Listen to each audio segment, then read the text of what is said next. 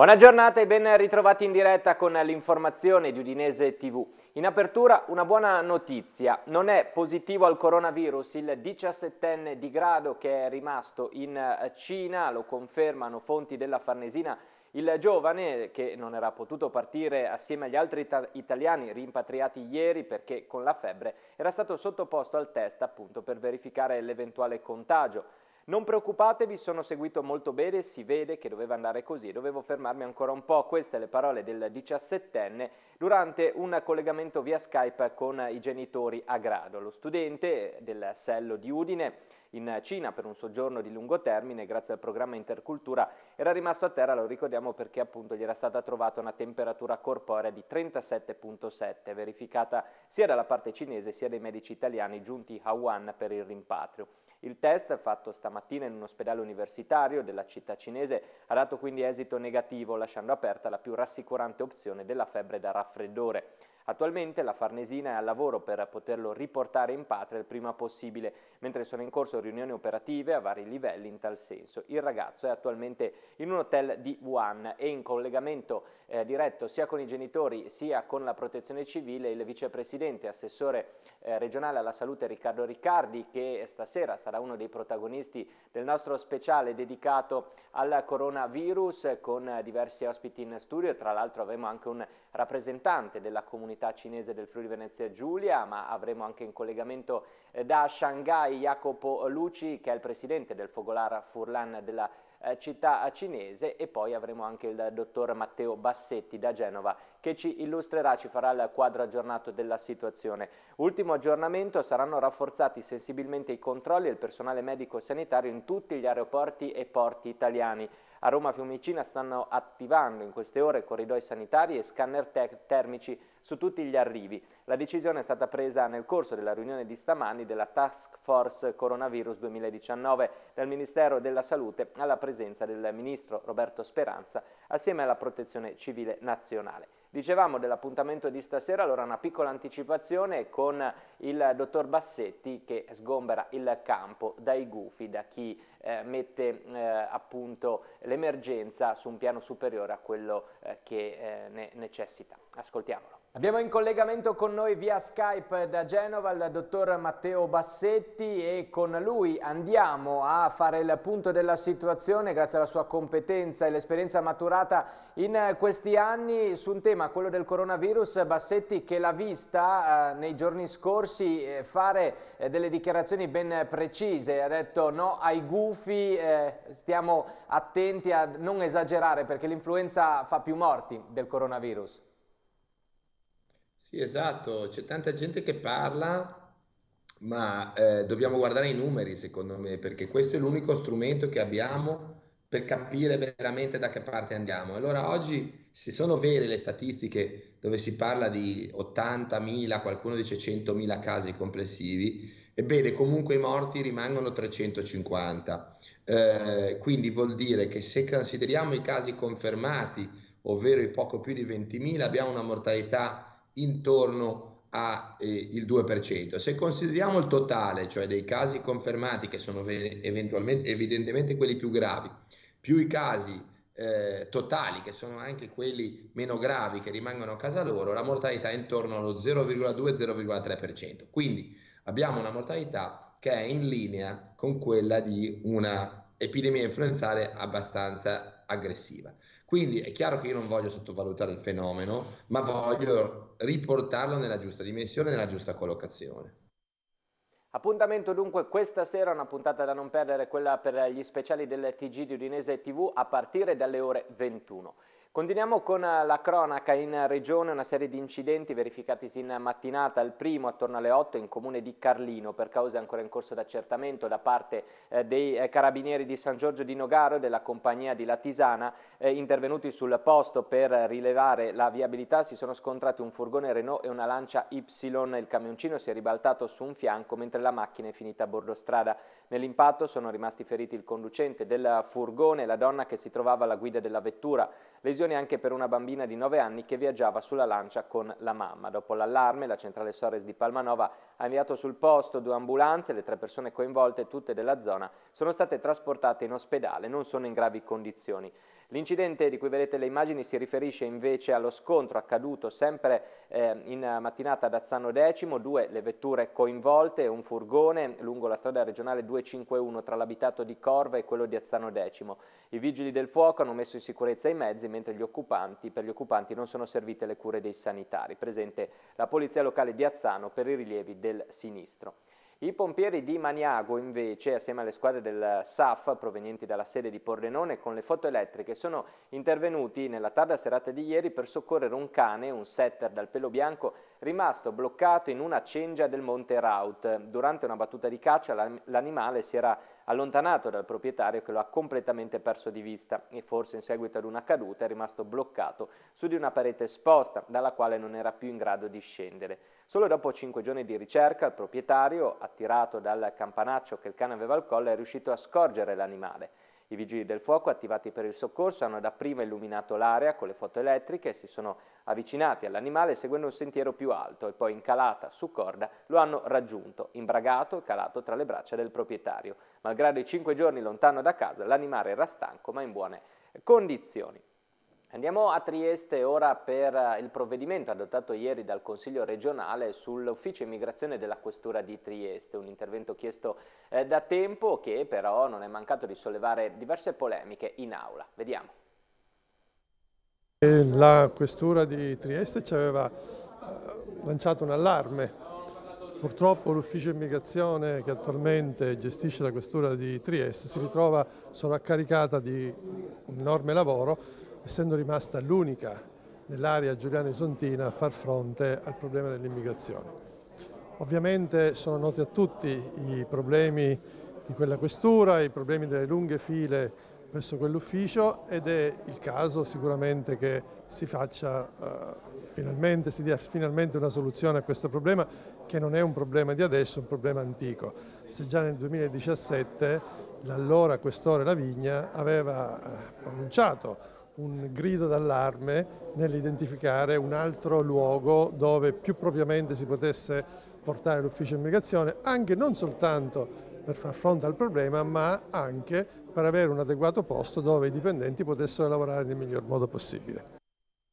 Il nostro parere è stato di astensione perché se riconosciamo la necessità di intervenire, come già avevamo fatto nel 2018, a favore della Questura di Trieste per i suoi problemi, non ci sembra che fare una legge specifica sia lo strumento giusto, ma soprattutto se è un provvedimento urgente perché non si è agito già a giugno 2019 quando è stato sollecitato dalla Questura stessa l'intervento. Ce ne sono state molte leggi che potevano portare a questo risultato, oggi dopo un'estenuante discussione discussione arriviamo che la maggioranza non sa nemmeno se il luogo è quello giusto, per cui sinceramente un'astensione perché non eh, siamo d'accordo su questo modo di procedere con le leggi mentre potevano essere fatti dei provvedimenti amministrativi. Vengono, viene destinato un milione e mezzo per eh, la questura e l'ufficio immigrazione, un eh, problema sul territorio per rendere quegli spazi per trovare un ufficio più adeguato come spazi e anche come sicurezza, ricordiamo i recenti fatti di cronaca, di triste cronaca che hanno investito la città, credo sia un atto necessario, dovuto, l'amministrazione la, regionale ha trovato un milione e mezzo, l'ha reso disponibile, era il momento di intervenire in questo momento con uno strumento legislativo per cominciare a risolvere il problema, senza aspettare ancora. Poi ci saranno le consultazioni, le decisioni della questura, si deciderà dove va eh, questo ufficio, ma era necessario iniziare per dare una risposta agli agenti e ai cittadini che usano la questura. Ed ora siamo pronti ad aprire uno dei nostri primi collegamenti di giornata con Monica Nardini. Andiamo nella sede della LILT per eh, raccontarvi il programma delle iniziative per un periodo molto particolare. A te Monica. Sì, ben ritrovato Davide e anche i nostri telespettatori. Ci troviamo nella sede della LILT perché oggi è la giornata mondiale contro il cancro promossa dall'Unione Internazionale contro il cancro, un'organizzazione non governativa a cui aderisce anche la Lega Italiana per la lotta contro i tumori. Ci troviamo nella sede di Udine perché proprio in una giornata come questa è importante, si ritiene molto importante rilanciare l'appello alla prevenzione contro i tumori. Sono in compagnia con Libero Grassi, del membro, membro del Consiglio direttivo della LILT di Udine. Dunque, buongiorno grazie di essere qua. Innanzitutto partiamo da che, ciò che vede la LIL qua sul territorio. Quali sono alcuni dei tumori, dei tumori più diffusi? I tumori più diffusi sono i tumori del polmone, del seno, prostata, cavo orale e, e, soprattutto pelle, melanomi e altri tipi di tumori sempre della pelle. La LILT in una giornata come questa appunto lancia un appello per la prevenzione perché dice prevenire si può e guarire eventualmente si può sempre di più. Sì, soprattutto prevenzione primaria sugli stili di vita, sull'alimentazione, sull'attività fisica eh, e dopo prevenzione secondaria, invece visite mediche di prevenzione e dopo facciamo anche prevenzione terziaria sull'assistenza psicologica, soprattutto ai malati affetti da tumore o in terapia eh, per i tumori. Eh, quali, sono alcuni, quali sono alcuni dei comportamenti che mettono più a rischio la popolazione sul fronte appunto delle abitudini quotidiane, quelle per cui rimarcate l'importanza di cambiare? Soprattutto abolire completamente il fumo, fare attività fisica, evitare l'obesità, cioè un'alimentazione corretta, eh, stili di vita eh, il più possibile corretti, fino dalla prima fascia d'età fino all'età adulta proprio. Oggi non c'è un evento specifico qui in sede, ma l'invito della LILT è quello di venire comunque a visitare queste, queste stanze. Sì, noi facciamo prevenzione a tumori della pelle, melanomi, tumori del cavo orale, tumori della prostata e, e tumori del seno, soprattutto che abbiamo vari specialisti che vengono a far visite gratuite. Eh, Quindi qua in via... Previo appuntamento in segreteria dalla mattina dalle 9 a mezzogiorno e dopo eh, le visite in base alla disponibilità dei vari specialisti, soprattutto al pomeriggio. Ecco, sentiamo anche squillare il telefono perché stanno cercando probabilmente per di fissare un prenotare, appuntamento. Prenotare visite, sì. Quindi oggi l'appello è quello di beneficiare anche di una realtà come la LILT, di beneficiare anche di questi controlli gratuiti da fare tutto, periodicamente. Vero? Tutto è gratuito. Eh, noi eh, desideriamo solo, auspichiamo che la gente si iscrivi alla nostra uh, Lega con 10 euro all'anno eh, che viene fornito tutto gratuitamente, soprattutto materiale informativo, oltre alle visite naturalmente di prevenzione. Grazie, grazie allora Libero Grassi per essere stato qui con noi, di nuovo a voi la linea. Grazie Monica, noi continuiamo con il nostro notiziario. Quattro anni fa eravamo al Cairo con la speranza di rivedere Giulio, eravamo a cena con Nora, ma in poche ore tutto è precipitato. Così la mamma di Giulio Regeni, Paola Defendi, alla presentazione ieri sera a Roma del libro Giulio fa cose, scritto dai genitori assieme all'avvocato Alessandra eh, Ballerini. Presente anche il padre Claudio, dal quale è arrivato un nuovo monito, dal nuovo ambasciatore nessun riscontro. Lo viviamo come mancanza di rispetto.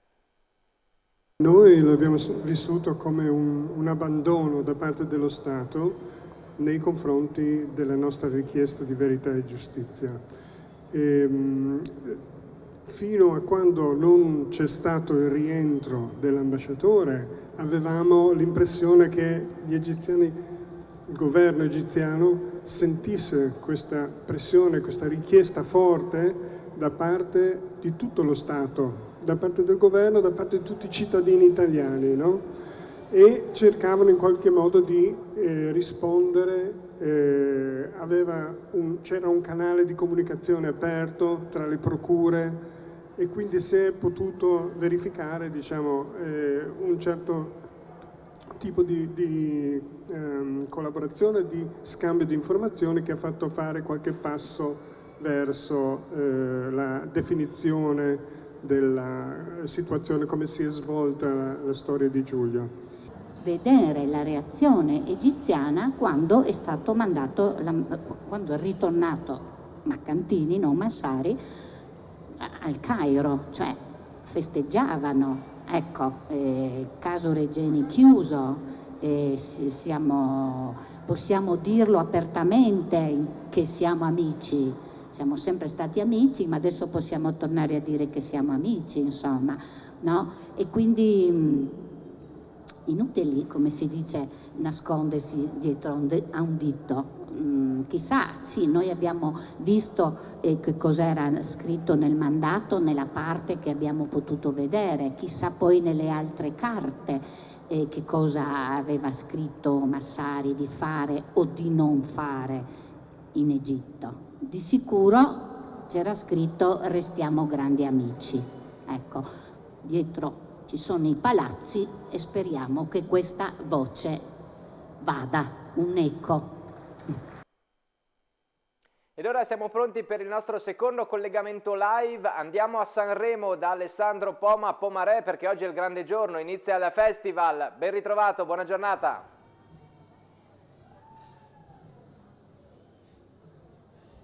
Ciao Davide, buona giornata a te, buona giornata a tutti i nostri telespettatori. Esattamente, sta per cominciare il festival tanto atteso, settantesima edizione, c'è veramente un grandissimo fermento, poi ci sono Fiorello in giro. Sì, buongiorno, grazie intanto per questa anche nostra incursione nella tua emittente. Allora, noi ieri eravamo al RUF, che è proprio la sala stampa del Festival di Sanremo e durante la presentazione di quella che sarà intanto la prima puntata, cioè quella che andrà in onda questa sera, ad un certo punto arriva Fiorello tra lo stupore di tutti noi giornalisti lì presenti e ha cercato, ve la faccio insomma abbastanza in soldoni, di sdrammatizzare un po' le polemiche che hanno visto eh, Amadeus protagonista di questa pagina eh, sessista, mh, parlando effettivamente di come certe volte si esageri anche nel eh, magari imputare delle colpe per delle frasi dette magari in maniera appunto impulsiva. Quindi ha raccontato un aneddoto proprio di Amadeus eh, del passato quando loro frequentavano i locali eccetera eccetera e quindi ha cercato di sottolineare che una persona buona come Amadeus difficilmente può ferire qualcuno, tanto più se parte del, dell'entourage di cui eh, si fa eh, in qualche modo portavoce, no? di cui appunto ha bisogno per la realizzazione di questo suo festival. Facciamo veramente un grandissimo in bocca al lupo ad Amadeus, ma secondo lei chi vincerà questo festival? Beh, secondo me il festival potrebbe vincerlo Achille Lauro, non so, è un artista che piace ai giovani, un sacco di visualizzazioni su YouTube soprattutto e poi la trap, beh l'anno scorso ha vinto appunto Mohamed con la sua canzone e mm, voglio dire nessuno si aspettava tra le tante polemiche che vincesse lui, oppure chissà il super criticato del festival che ieri ha tolto la mascherina, ha sorriso, l'abbiamo visto sfilare sul eh, nostro tappeto rosso e poi alla fine insomma insomma eh, non è stato acclamato da tanti per la canzone Strega che parla, come tutti sappiamo perché ne abbiamo sentito parlare in questi giorni, di questo stupro e di questa violenza su una donna. E lui appunto diceva, le, eh, leggevo e sentivo appunto le sue interviste dove diceva che lui racconta una sfaccettatura della vita dove purtroppo accadono anche queste cose e quindi non è imputabile, lui non sono imputabile del fatto che eh, ovviamente avvallo questi atteggiamenti, però anche cioè, sono delle sfaccettature che appunto purtroppo esistono. A proposito invece di Amadeus che hanno definito sessista e come ha detto bene la mia collega ieri appunto Fiorello ha cercato di sdrammatizzare un po' il tutto, io credo che ad ogni inizio Sanremo si cerchi sempre il pelo nell'uovo. E noi non lo cercheremo, anzi aspetteremo questa settantesima edizione anche perché più tardi magari sentiremo anche le parole di un'altra critica storica che ha fatto pochettino la, la storia di Sanremo, è Carlotta Tedeschi, quindi a voi studio caro Davide, ci risentiamo più tardi. Grazie, grazie al nostro inviato a Sanremo nella giornata di apertura del festival. Continueremo in tutte le nostre edizioni a tenervi aggiornati. Ora è tempo di sport rientriamo alla Dacia Arena con il nostro Lorenzo Pausa. Buongiorno David, buongiorno a tutti i nostri telespettatori. Oggi è il giorno dell'arrivo di Sebastian Prödl che eh, come sapete si è svincolato dal Watford e per questo motivo c'è una, una, regola del calciomercato per cui i giocatori svincolati hanno la possibilità di eh, accasarsi eh, in un nuovo team anche nel mese di febbraio. Oggi quindi il difensore austriaco è in città per svolgere le visite mediche e vi terremo quindi aggiornati sul ufficializzazione del giocatore che dovrebbe avvenire in giornata. Sebastian Prodel, quindi eh, difensore classe 97, andrebbe a rinforzare il, la retroguardia bianconera che comunque può contare sulla permanenza di eh, Sebastian De Maio, un giocatore che ha trovato poco spazio anche per via di numerosi infortuni negli ultimi due anni ma che eh, è pronto a rilanciarsi nel campionato di Serie A. Per il resto l'Udinese oggi osserva una giornata di, eh, di riposo dopo la sconfitta con eh, l'Inter e riprenderà a lavorare domani domani alle 14.30 a ranghi completi sui campi del Centro Sportivo Bruseschi con il Solo Samir che prosegue a parte l'iter di recupero post infortunio che lo porterà poi a essere nuovamente disponibile eh, per eh, la gara con il Verona del 16 eh, febbraio. Ci sarà da lavorare soprattutto in fase offensiva e questo è il problema principale in questo momento da parte dei, dei bianconeri che sono il secondo peggior attacco del campionato e anche contro l'Inter eh, pur eh, mostrando delle ottime trame di gioco nella parte centrale del campo fino alla tre quarti hanno peccato poi nella finalizzazione negli ultimi 20 metri. Non solo problemi offensivi ma anche eh, difensivi, ha provato a spiegare Alex Brunner quello che è il momento di Juan Musso che per la prima volta in questo campionato sta vivendo un momento di, eh, di calo di prestazioni con eh, alcuni eh, errori che hanno condizionato poi anche i risultati dell'Udinese. Ascoltiamo allora le parole del preparatore dei portieri dell'Udinese e poi la linea allo studio.